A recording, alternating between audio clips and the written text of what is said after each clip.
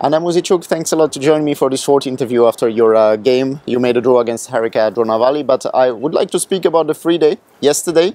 Um, what did you do? Did you go skating with uh, your sister and Elizabeth Pähtz?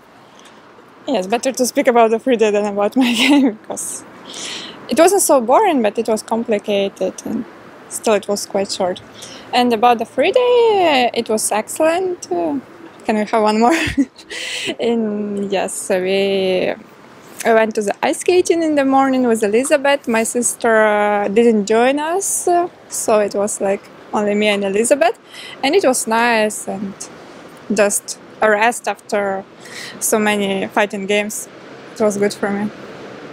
In the evening, the organizers in invited everybody to the to the casino, not to play, but to have a, a very nice dinner.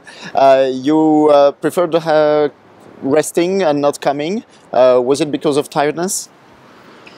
Uh, there were many reasons. Yes, I would like to go because I know the place and it's a very nice restaurant and the food is excellent there.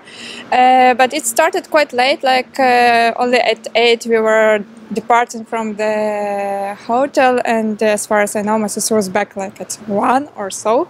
So uh, I thought that maybe it's better yeah, to stay longer in the room and to, mm. to prepare kind of. You mentioned that the place is nice, that the food is nice because you played in the Grand Prix there a few years ago. Yeah, sure. Uh, the uh, we played the Grand Prix in 2015, exactly in the casino, and uh, we played in the VIP hall, and uh, it was a very nice place, and uh, with very nice paintings uh, which surrounded us. I enjoyed it a lot. I didn't play well, but but it was very beautiful.